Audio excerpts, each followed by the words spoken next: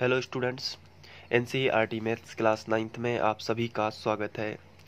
आज हम लोग अध्याय तीन शुरू कर रहे हैं और जिसका नाम है निर्देशांक ज्यामिति। निर्देशांक ज्यामिति शुरू करने से पहले हमें ये पता होना चाहिए कि निर्देशांक ज्यामिति किसने दी या निर्देशांक ज्यामिति के जनक कौन हैं। तो आइए समझ लेते हैं। तो निर्देशांक ज्यामिति के जनक रैनी दकारते को माना जाता है और इनके बारे में कुछ महत्वपूर्ण रोचक तथ्य हैं तो उनको भी हम लोग देख लेंगे। तो साइंटिस्ट का क्या नाम है बताइए? रैनी दकारते। अब इससे संबंधित कुछ महत्वपूर्ण आपको रोचक तथ्य देख लेना है कि क्या है। तो सबसे पहली बात तो ये आती है कि ये फ्रांस के महान गणतज्ञ हैं। तो ये कहाँ के रहने वाले हैं? फ्रांस के। तो ये क्वेश्चन भी पूछा जा सकता है। पहला क्वेश्चन क्या आ सकता है कि निर्देशांक ज्यामिति के जनक कौन है? तो इसका आंसर क्या है? रैनी दकारते। निर्देशांक ज्यामिति किसने बनाई थी? रैनी दकारते ने, ठीक है? और ये कहाँ के रहने वाले हैं? तो आंसर है, ये फ्रांस के रहने वाले हैं। फ्रांस एक देश है, वो यहाँ के रहने वाले हैं। और इन्हें निर्देशांक ज्यामिति का जनक माना जाता है। अब इनके बारे में कुछ बातें कही जाती हैं, जैसे कि इन्हें प्रातः काल में बिस्तर पर लेटे रहना पसंद था। तो जैसे सुबह सुबह नींद खुल जाती है तो आप में से कुछ बच्चे क्या होते हैं? बिस्तर पर लेटे रहते हैं। और उसके बाद तुरंत जैसे आपकी नींद खुली तो आप तुरंत नहीं उठते हैं। आप थोड़ी देर और सोना पसंद करते हैं या लेटना पसंद करते हैं बिस्तर पर ही। तो बिल्कुल ऐसी ही आदत रैनी दकारते की थी। आगे लिखा है, परंतु ये आलसी नहीं था। मतलब ये जो वैज्ञानिक थे, ये आलसी नहीं थे। इनका मानना था कि बिस्तर पर पड़े पड़े ही चिंतन किया जा सकता है। अब ये क्या करते थे कि बिस्तर पर पड़े पड़े ये सोते नहीं थे। ये बिस्तर पर पड़े पड़े चिंतन किया करते थे। और चिंतन मतलब बहुत ज़्यादा सोचा करते थे कि क्या निर्देशांक या किसी वस्तु के बारे में या अलग अलग चीज़ें जो रखी होती हैं, फर्श पर कोई वस्तु रखी हुई उनके सामने तो उन्होंने एक एक दिन इस तरीके से, इन्होंने एक तल में एक बिंदु की स्थिति का निर्धारण करने से संबंधित समस्या का हल ढूंढ निकाला। तो इन्होंने देखा कि जो वस्तुएँ रखी होती हैं, उनके बारे में उन्होंने बताया, जैसे फर्श पर कोई गिलास रखा हुआ है, या कोई चटाई रखी हुई है, इस तरीके से उन्होंने अलग अलग वस्तुएँ कुछ भी हो सकती हैं, फर्श पर हो गई, टेबल पर हो गई या हम इसे इस तरीके से भी कह सकते हैं कि किसी तल में, तल हो गया, जैसे कि फर्श हो गया, टेबल हो गई, ये फर्श, ये, यही तल कहलाते हैं।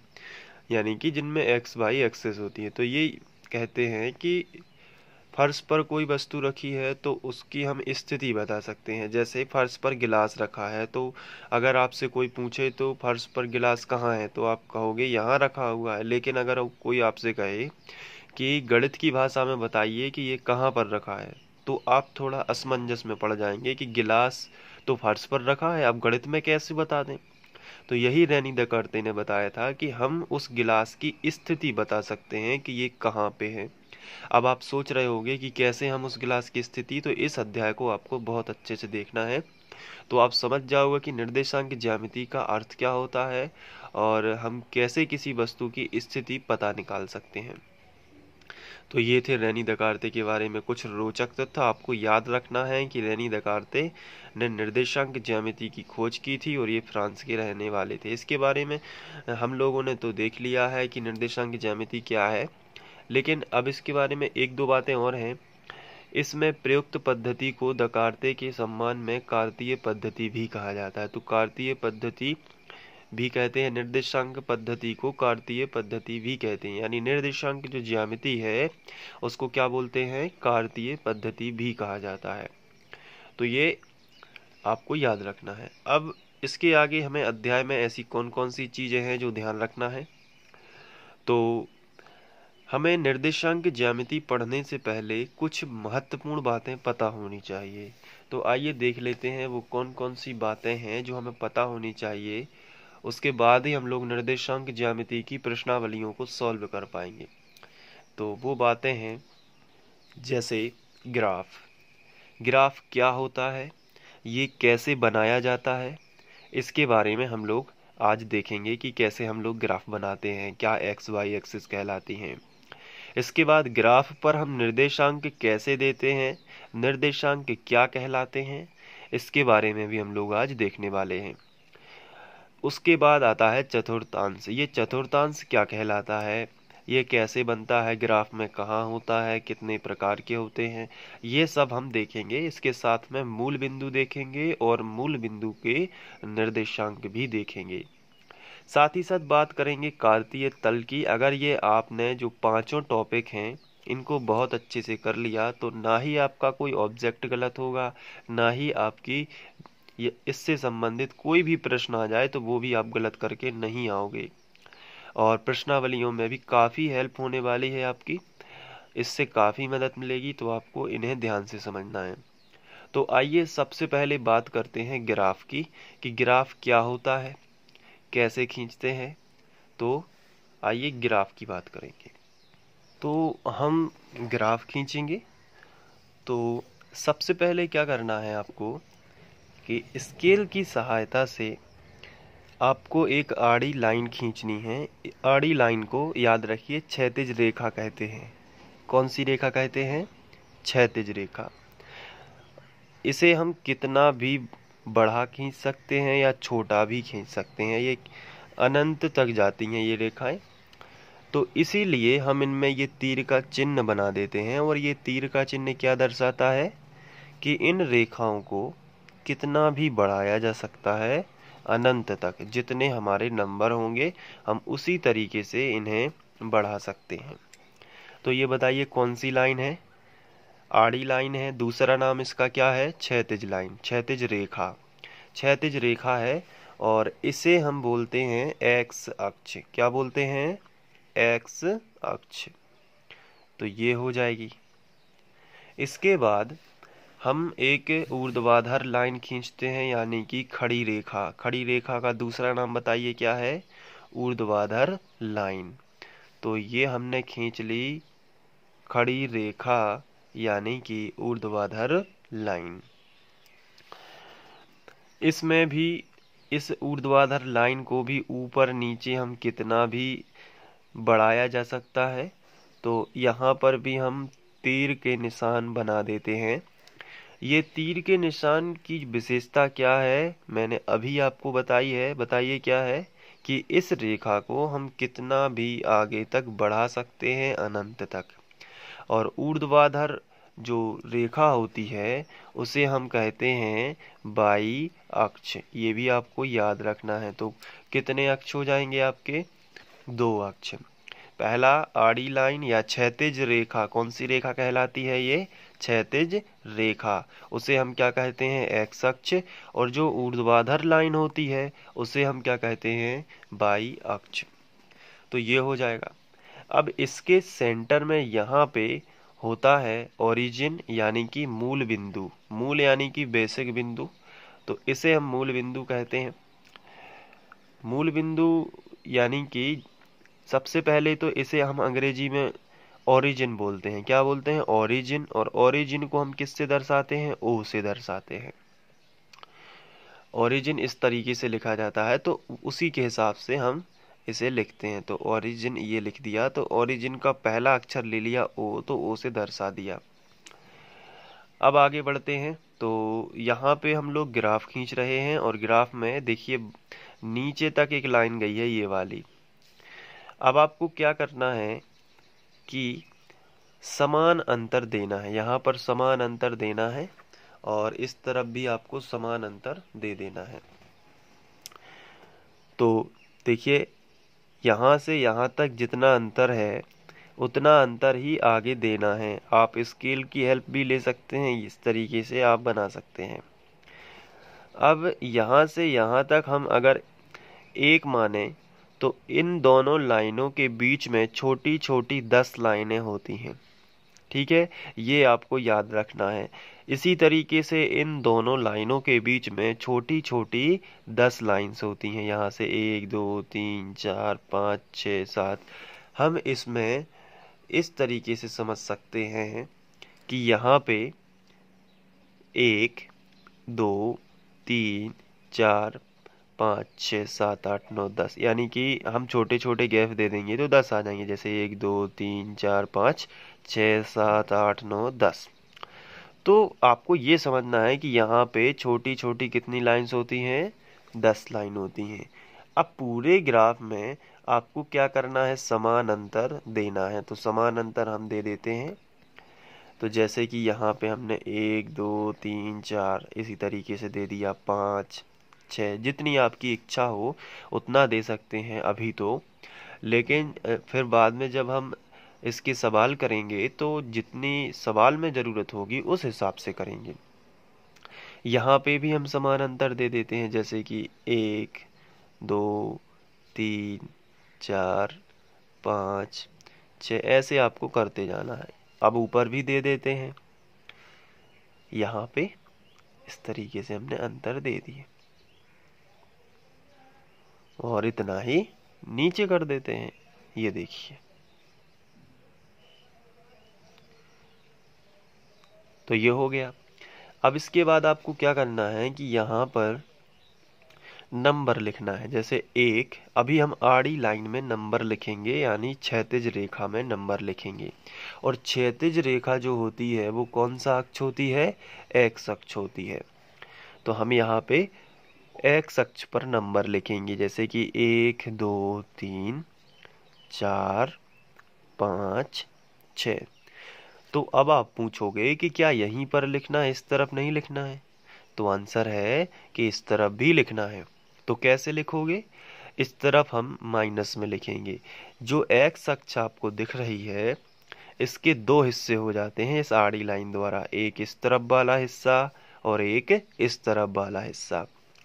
इस तरफ़ वाले हिस्से में हमेशा ग्राफ में धन की संख्याएँ लिखी जाएँगी और इस तरफ़ वाले हिस्से में हमेशा ऋण की। तो ऋण एक, यानी माइनस एक, माइनस दो, माइनस तीन, माइनस चार, ऐसे आगे बढ़ते जाना है। माइनस छ माइनस सात। इसी तरीके से आपको ऊपर करना है। अब देखिए, अब हम लोग ऊर्ध्वाधर लाइन में आ गए। ऊर्ध्वाधर लाइन में यहाँ पे एक, दो, यहाँ पर धन की संख्या लिखनी होती है ऊपर। एक बार आप ग्राफ बनाना सीख जाओगे तो आपको वही टेंशन नहीं होगी। इसलिए थोड़ा हम डिटेल में जा रहे हैं। तो ज़ीरो से ऊपर एक, दो, तीन धन में पूरी संख्या है और यहाँ पर पूरी की पूरी माइनस में, माइनस वन। और एक बात हमेशा याद रखना है, यहाँ पे कुछ बच्चे गलतियाँ क्या कर देते हैं कि यहाँ से एक, दो और तीन लिखना स्टार्ट कर देते हैं और यहाँ पर आ जाते हैं। तो ये गलती नहीं करना है। क्या गलती हो जाती है? जैसे यहाँ से आप, उन्होंने पहले समान अंतर दे दिए, उसके बाद फिर वो ऊपर से एक, दो, तीन चार, पाँच, ऐसे लिखना स्टार्ट कर देते हैं। तो उससे गलतियाँ बढ़ जाती हैं क्योंकि आपको ज़ीरो से स्टार्ट करना होता है। ज़ीरो के बाद ही तो एक आता है ना। तो देखिए, ज़ीरो के बाद यहाँ पे एक आया है, ज़ीरो के बाद यहाँ पे ज़ीरो के इस तरफ़ माइनस वन होता है, ज़ीरो के इस तरफ़ माइनस वन। तो कहने का मतलब ये है कि हमें स्टार्ट कहाँ से करना है? ज़ीरो से ही करना है, ऊपर से नहीं कर दे, देना है। तो माइनस दो, माइनस तीन, माइनस चार, माइनस पाँच, माइनस छ। तो ये हमने संख्याएँ प्रदर्शित कर दी। तो ये बन जाता है हमारा ग्राफ। अब ग्राफ में हम संख्याओं को और आगे तक भी बढ़ा सकते हैं, यहाँ पर भी आगे तक बढ़ा सकते हैं, ऊपर भी बढ़ा सकते हैं और नीचे भी बढ़ा सकते हैं, जितनी चाहे आप ग्राफ में बढ़ा सकते हैं। लेकिन इसे ही हम ग्राफ कहते हैं। आप चाहें तो ग्राफ काफ़ी भी खरीद सकते हैं। मार्केट में अवेलेबल है और अगर आपको नहीं खरीदना है तो आपको इस तरीके से ग्राफ बना सकते हैं। ग्राफ बनाने के दो फ़ायदे हैं। हो सकता है एग्ज़ाम में आपको ग्राफ पेपर ना दिया जाए तो आप भी कॉपी में बना सकते हैं। लेकिन ज़्यादातर केसों में यदि ग्राफ से संबंधित कोई क्वेश्चन आता है तो आपको ग्राफ पेपर मिल जाता है। लेकिन कभी कभी ऐसा भी हो जाता है कि आपको ग्राफ का क्वेश्चन आया हो और आपको पेपर ही ना मिला हो ग्राफ पेपर, क्योंकि वो अलग से मिलता है। तो ऐसी स्थिति में आपको खुद से ग्राफ खींचना होता है। तो आपको क्या करना होगा? ग्राफ खींचना सीखना होगा। ठीक है, ये हो गया ग्राफ की बात। है अब हम देखेंगे कि इसमें हम स्थिति कैसे बता सकते हैं। तो मान लो कि ये कागज़ है और कागज़ का ये तल बना हुआ है सभी जगह। इस तरीके से ये पूरा का पूरा क्या है? तल है। अब यहाँ पे कोई वस्तु रखी हुई है। कहीं पर भी रखी हुई है, जैसे मान लो कि यहाँ पे कोई वस्तु रखी हुई है। कहाँ पे रखी हुई है? यहाँ पे। अब आपसे कहा जाए कि बताइए, मान के चलो यहाँ पे गिलास रखा है। क्या रखा है? गिलास। तो अगर आपसे पूछा जाए कि गिलास कहाँ रखा है किसी तल में, और थोड़ी देर के लिए ये भी मान लो कि ग्राफ नहीं बना है, और आपसे कहा जाए कि गिलास कहाँ पर रखा है तो आप क्या कहोगे? कि गिलास तल में रखा है। लेकिन रैनी दकारते क्या कहते हैं कि इस गिलास को हम गणतीय भाषा में दिखा सकते हैं कि ये कहाँ पर रखा है। तो इसको थोड़ा ध्यान से देखना है। जैसे कहीं पर भी कोई वस्तु रखी है और उस वस्तु को हम गिलास के संदर्भ में समझेंगे। थोड़ा अच्छे से देखना है, तभी आपको समझ में आएगा। जैसे मान के चलिए कि ये जो गिलास है अब इसको थोड़ा ध्यान से समझना है। जैसे कि किसी तल में कोई गिलास रखा है। तो रैनी दकारते कहते हैं कि उस गिलास या कुछ भी वस्तु रखी है, उसके चारों ओर हम एक इस तरीके से ग्राफ खींच सकते हैं। ये देखिए। लेकिन अब उसमें होगा क्या कि तल के जो किनारे होंगे उसको हम एक्स अक्ष और वाई अक्ष ले लेंगे। अभी थोड़ा आपको समझ में आएगा, लेकिन उसके बाद आपको ज़्यादा समझ में तब आएगा जब हम प्रश्नावली से उसको रिलेट करेंगे। लेकिन फिर भी समझ लीजिए। किसी तल में गिलास रखा है तो या आपके फ्लोर पर गिलास रखा है तो आपके जो, आपका जो घर है, जिस तल में वो गिलास रखा है, उसकी एक दीवार को, दीवार के तल को आप एक्स अक्ष मानोगे। समझने का प्रयास कीजिए कि उसकी दीवार के एक दीवार का जो एक नीचे जो दीवार आपकी फ्लोर से जुड़ी हुई है, उस लाइन को आप एक्स अक्ष मानोगे और दूसरे वाले को आप क्या मानोगे? वाई अक्ष। सीधा सा मतलब ये है कि दीवार का जो कॉर्नर होगा, वो यहाँ पे होगा, यहाँ पे। और उसके बाद दीवार का कॉर्नर ये हो जाएगा और फिर दीवार को के कॉर्नर से जुड़ी हुई एक ये लाइन होगी और दूसरी लाइन होगी और ये आपका पूरा इस तरीके से मान के चलो ये ये आपका फ्लोर हो गया। तो यहाँ पे गिलास रखा है तो आप फिर उसमें क्या करोगे? अब इसकी स्थिति दिखाना है तो आप सबसे पहले नंबर लोगे यहाँ पे, वो समान अंतर, यहाँ पे समान अंतर। अब जहाँ पे ये गिलास रखा है, उसको दोनों अक्षों से मिला देना है। आपकी जो दीवार है, उनको दोनों से मिला देना है। जैसे कि हम यहाँ पे मिला देते हैं कि इसको हमने यहाँ से मिला दिया। और यहाँ पे इसको मिला दिया। यही है ना हमारा बिंदु? तो अब हम कहेंगे कि ये देखिए यहाँ पे, आप इसको, इसकी स्थिति तीन और चार, पहले आपको क्या लिखना होता है? एक्स अक्ष वाला पॉइंट। तो अभी मैं मोटा अंदाज आपको बता रहा हूँ, क्योंकि आपको पॉइंट यहाँ पे दशमलव भी होता है तो आप उस तरीके से भी कर सकते हो। मान के चलो ये बिंदु यहाँ है तो ये यहाँ चार से, या मान के चलिए कि ये तीन से मिल गया है, और ये किससे मिला है यहाँ पे? चार से फिक्स चार से मिला है ये, और ये यहाँ पे फिक्स तीन से मिला है। ये देखिए तो अगर ये तीन और चार से मिला है तो पहले हम एक्स अक्ष वाला बिंदु लिखेंगे। एक्स अक्ष वाला बिंदु कितना है? तीन। तो हम यहाँ पे लिखेंगे तीन। उसके बाद बाई अक्ष वाला बिंदु कितना है? चार। तो यहाँ पे लिखेंगे चार। तो अब हम कहेंगे कि गिलास की स्थिति तीन और चार है। यही है रैनी दकारते के अनुसार कि हम स्थिति में कैसे और इन्हीं बिंदुओं को हम क्या बोलते हैं? निर्देशांक बोलते हैं। क्या बोलते हैं? निर्देशांक। तो हमने ग्राफ समझ लिया है। कि कैसे बनाते हैं? और निर्देशांक देख लिया कि कैसे आता है। निर्देशांक वो बिंदु कहलाते हैं। निर्देशांक के अंदर ब्रैकेट में दो बिंदु होते हैं। पहला होता है एक्स अक्ष वाला बिंदु, दूसरा होता है वाई अक्ष वाला बिंदु। आपको ये समझना होगा, पहला क्या होता है एक्स अक्ष वाला बिंदु और दूसरा क्या होता है वाई अक्ष वाला बिंदु। अब थोड़ा सा इसमें और आगे बढ़ते हैं कि एक्स अक्ष वाले बिंदु को हम भुज कहते हैं। क्या कहते हैं? भुज।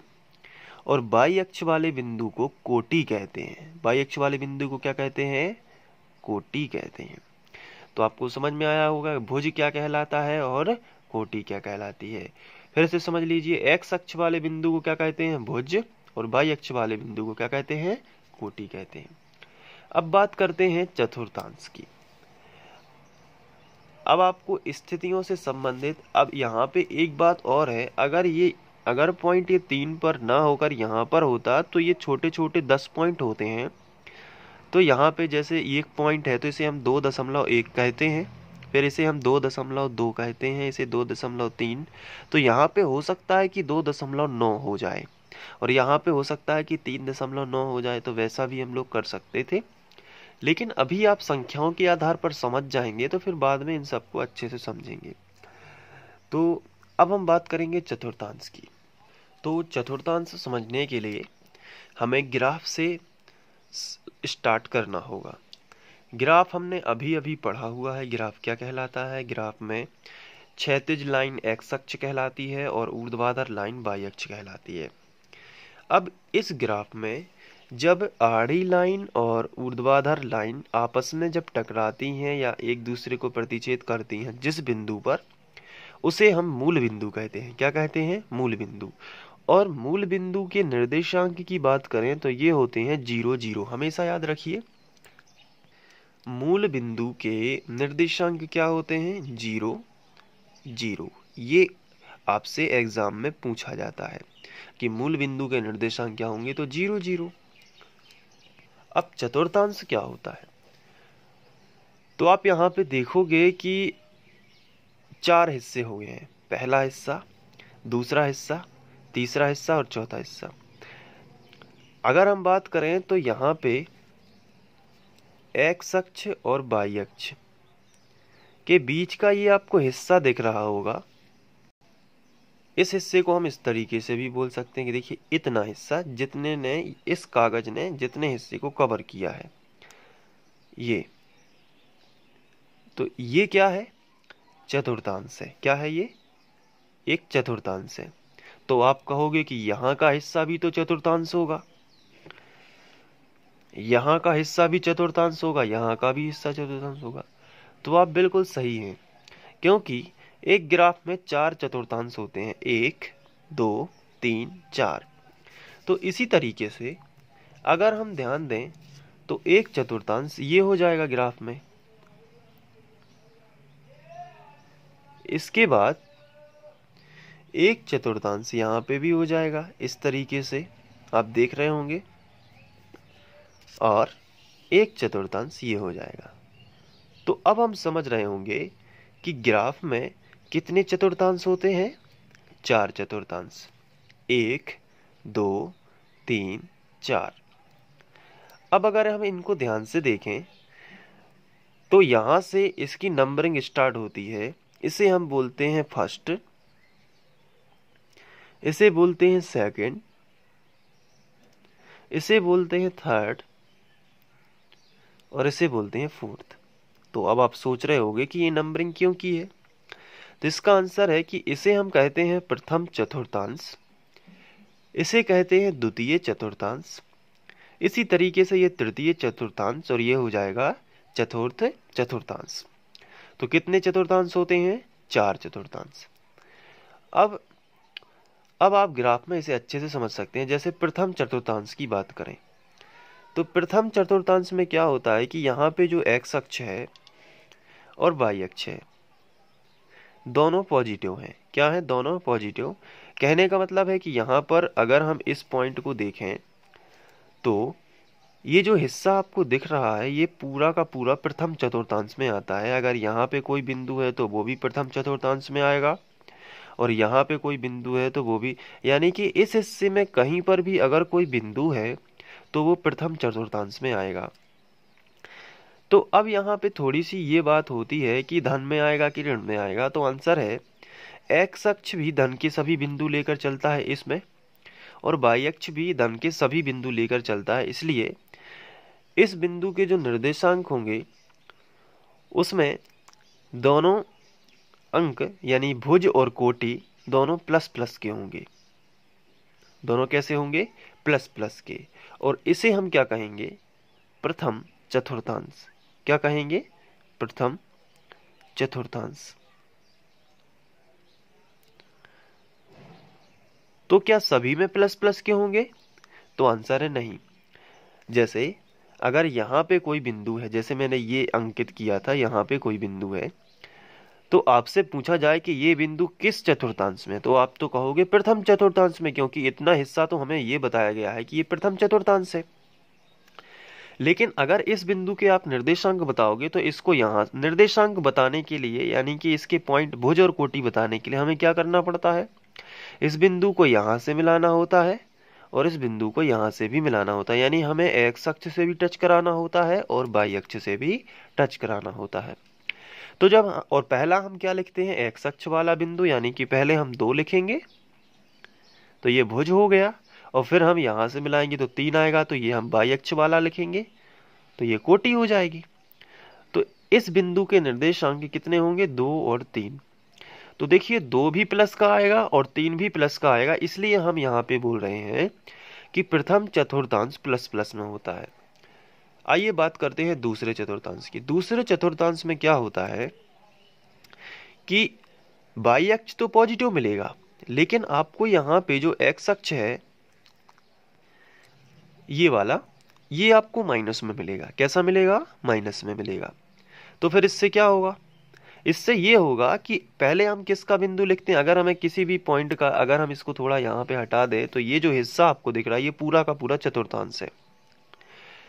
लेकिन कौन सा चतुर्थांश है? तो आंसर है द्वितीय चतुर्थांश है। द्वितीय चतुर्थांश। लेकिन अगर हमें द्वितीय चतुर्थांश में ये देखना है कि इसके चिन्ह कैसे रहेंगे। तो पहले हम x वाला लिखते हैं तो x का तो कैसा है? ऋणात्मक आता है इस वाली अक्ष को, दोनों अक्षों को देखिए यहाँ से कॉर्नर से। एक अक्ष ये चली गई यहाँ पे और एक अक्ष ऊपर चली गई ना? तो इस वाले पॉइंट में क्या होगा कि पहले आएगा माइनस का चिन्ह और उसके बाद आएगा प्लस का चिन्ह। कैसे? आइए देखते हैं। जैसे यहाँ पे हमने कोई पॉइंट निर्धारित किया। अब इस बिंदु के हमें निर्देशांक चाहिए तो हम क्या कहते, करते हैं कि उस बिंदु को एक्स अक्ष से भी मिला देते हैं और उस बिंदु को वाई अक्ष से भी मिला देते हैं। तो हमने वही किया। इसको यहाँ पे एक्स अक्ष से मिला दिया और यहाँ पे वाई अक्ष से मिला दिया। तो अब यदि हमें इसके निर्देशांक चाहिए तो आप कैसे लिखोगे? पहले आप भुज लिखते हो, यानी एक्स अक्ष का बिंदु लिखते हो तो एक्स अक्ष का बिंदु कितना होगा? माइनस दो। उसके बाद आप कोटि लिखते हो तो कोटि कितनी होगी? तीन। तो इस तरीके से इस बिंदु के निर्देशांक कितने होंगे? माइनस दो और तीन। अब यहाँ पे आप देखोगे तो पहला आपको माइनस में मिलेगा। पहला अंक आपको कैसा मिलेगा? माइनस में। और दूसरा अंक आपको कैसा मिलेगा? प्लस में। तो यही है द्वितीय चतुर्थांश की विशेषता। अब बात करते हैं तीसरे चतुर्थांश की, यानी कि तृतीय चतुर्थांश की। तो तृतीय चतुर्थांश में देखें तो सबसे पहले हमें क्या लिखना होता है? भुज। इसका नाम क्या है? पहले तो ये बताइए, तृतीय चतुर्थांश। तो तृतीय चतुर्थांश में क्या होगा? पहले क्या आता है भुज तो माइनस का आएगा। और कोटि भी आप देखोगे तो ये भी माइनस में है। अगर इसको कॉर्नर से देखा जाए तो इस चतुर्थांश के जितने भी बिंदु होंगे, उनका पहला बिंदु हमेशा ऋणात्मक रहेगा और दूसरा बिंदु भी हमेशा ऋण में ही रहेगा। कैसे? आइए एक उदाहरण से समझते हैं। जैसे यहाँ पे हमने एक बिंदु ले लिया और आपसे पूछा कि बताइए इसके निर्देशांक क्या होंगे तो आप क्या करोगे इस बिंदु को? एक्स अक्ष से भी मिला दोगे। यहाँ पे एक्स अक्ष से मिला दिया और यहाँ पे वाई अक्ष से मिला दिया। अब इस बिंदु के निर्देशांक क्या होंगे तो आप पहले क्या लिखोगे? भुज लिखोगे। भुज क्या है? एक्स अक्ष का पहले लिखोगे ना तो माइनस में आएगा, माइनस दो। बीच में कॉमा लगाते हैं और उसके बाद कोटी लिखते हैं। कोटी कितनी है? माइनस तीन। वाई अक्ष वाला लिखोगे ना, ये वाला तो कितना है? माइनस तीन। तो निर्देशांक कितने हो जाएँगे? माइनस दो, माइनस तीन, यानी दोनों अंक आपके किसके होंगे? माइनस माइनस में, यानी कि भुज भी आपका माइनस में होगा और कोटी भी आपकी माइनस में होगी। इसके बाद बात करेंगे चतुर्थ चतुर्थांश की। तो इसका नाम क्या है? चतुर्थ चतुर्थांश। अब इसको कैसे समझेंगे? आइए अच्छे से देखते हैं। सबसे पहले आपको क्या करना है कि इसमें एक्स अक्ष को देखना है। एक्स अक्ष कैसा रहेगा आपको? पहला तो एक्स अक्ष ही देखना होता है, पॉजिटिव रहेगा तो एक्स तो आपका प्लस में आएगा। लेकिन ये बाई अक्ष आप ध्यान से देखो तो ये आपका सभी में ऋणात्मक है तो ये माइनस में आएगा। तो एक्स अक्ष आपका पॉजिटिव और बाई अक्ष आपका नेगेटिव रहेगा, यानी प्लस माइनस रहेगा। तो किसी भी बिंदु के निर्देशांक निकालने जैसे ये बिंदु है अब इसके निर्देशांक निकालने हैं तो आप क्या करोगे? इसे एक्स से मिला दोगे। और इसे बाई से मिला दोगे। अब इसके निर्देशांक कैसे लिखोगे? पहले एक्स के लिखते हो ना तो पहले एक्स के यानी भुज के लिखोगे तो दो आएगा। फिर कोटि के लिखोगे तो माइनस तीन आएगा। तो आपके निर्देशांक होंगे दो माइनस तीन तो पहले आपका अंक जो आएगा वो धन में रहेगा और दूसरा अंक आएगा तो माइनस में रहेगा। तो ये कहलाता है चतुर्थांश इस तरीके से। अब हमने ग्राफ देख लिया निर्देशांक देख लिए किस तरीके से आते हैं। मूल बिंदु के निर्देशांक भी आपको मालूम होने चाहिए, ज़ीरो ज़ीरो होते हैं। और उसके बाद हमने ये भी देख लिया कि चतुर्थांश आखिर क्या कहलाते हैं। अब इसके बाद हम बात करेंगे कार्तीय तल की कि कार्तीय तल क्या कहलाता है तो इसको समझना बड़ा ही आसान है। अगर हम चारों चतुर्थांशों को मिला दें, यानी कि प्रथम चतुर्थांश यहाँ पे,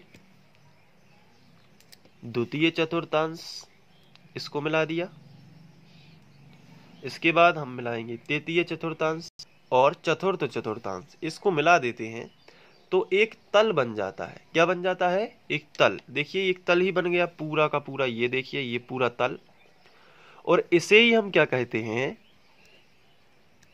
कार्तीय कार्तीय तल। क्या बोलते हैं? कार्तीय तल। तो आप समझने का प्रयास करेंगे कार्तीय तल क्या कहलाता है? कार्तीय तल चारों चतुर्थांशों के मिलने से बनता है। उसे ही हम क्या कहते हैं? कार्तीय तल। इसको इस इस तरीके से समझ सकते हैं कि ये जो आपको पूरा का पूरा तल दिखेगा, जितने में आपको ग्राफ दिख रहा है, ये वाला,